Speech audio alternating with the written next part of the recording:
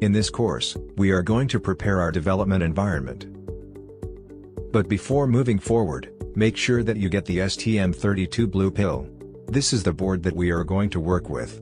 You can get it from Amazon or any distributor. Some links are available on the Blue Pill section to quickly order one.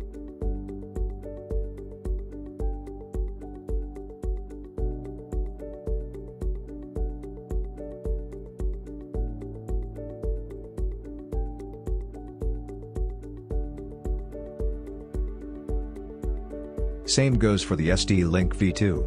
This is the in-circuit programmer and debugger that we will use for flashing the blue pill. Make sure to also add it to your basket. Alright. Now let's focus on the different tools that we will need to build our HID device. We will need a collection of 5 tools to develop HID devices. The nice thing about it is that they are all available for Windows, Mac, and Linux. Without further ado, let's get into it. The first one is STM32CubeMX. It is a code generator used to ease development process. Here, follow the installation instructions depending on the operating system you are using.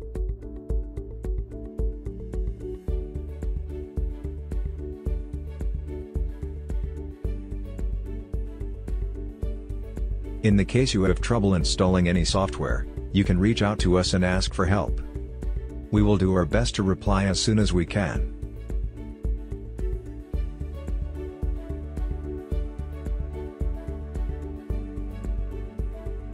Next up, we have VS Code which is the code editor that we will use to write the microcontroller's firmware.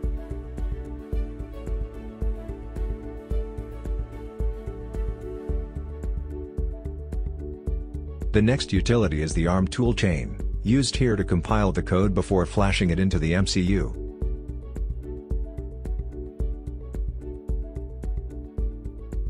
Next up, the ST-Link tools is used to flash the firmware to the MCU.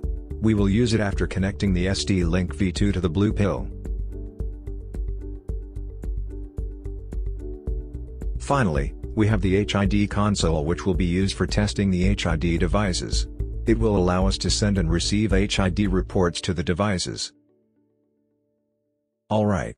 Once you have finished to set up your computer, you can move to the next course by clicking the Mark as Completed button.